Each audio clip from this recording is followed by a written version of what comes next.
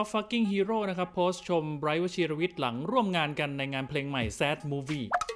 หลังจากเปิดตัวค่าย High Cloud Entertainment ไม่นานนะครับ ฟักกลิ้ง ฮีโร่ นะฮะหรือกอล์ฟ ณัฐวุฒิศรีหมอก เจ้าของค่ายนะครับก็ได้เซอร์ไพรส์ทุกคนด้วยการปล่อย MV เพลงอกหัก Sad Movie นะฮะที่มาพร้อมกับ MV อิงโรงภาพยนตร์แนวเก่าที่มีคนอกหักนะครับมาร่วมอำลาสถานที่ ซึ่งผลงานนี้นะฮะก็ได้นักแสดงหนุ่มชื่อดังไบร์ท วชิรวิชญ์ ชีวอารี มาร่วมฟิชเชอริงด้วยนะฮะโดยหลังจากที่ MV ถูกปล่อยไปนะครับ Fucking Hero ก็ได้ออกมาเล่าความประทับใจที่มีต่อไบรท์โดยพี่ก๊อฟเผยว่าถึงแม้ตัวเองนะจะเปิดค่ายใหม่แต่ไบรท์และต้นสังกัด GMMTV ก็ให้เกียรติร่วมงานกับเขานะครับซึ่งไบรท์เองนะครับก็แบ่งเวลาและทำกันบ้านเพื่ออัดเพลงมาอย่างดีนะฮะและในวันที่เขาต้องเจออุปสรรคนะครับอาจจะดำเนินธุรกิจต่อไปไม่ได้ไบรท์ก็ได้ออกมาพูดคุยเล่นจนเขามีกำลังใจมากขึ้น ซึ่งในช่วงท้ายของข้อความ Fucking Hero ก็ได้ทิ้งท้ายไว้ว่าแม้ผมจะมีโอกาสเจอไบรท์แค่ 2 ครั้ง ตลอดการทำงานนะครับคือวันอัดเพลงและวันถ่าย MV แต่ผมก็ค่อนข้างแน่ใจนะครับว่าใน part การทำงานนั้นไบร์ททำงานด้วยความละเอียดและตั้งใจ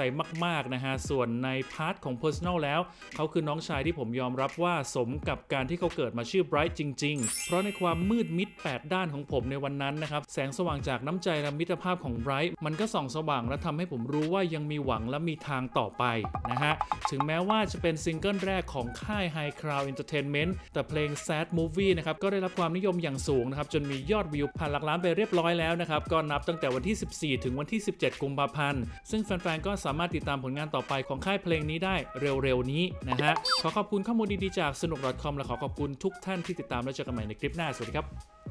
ติดตามห้องข่าวพีนิวได้ทาง Facebook Twitter และ IG หรือสแกน QR Code ที่ขึ้นอยู่หน้าจอได้เลยนะครับ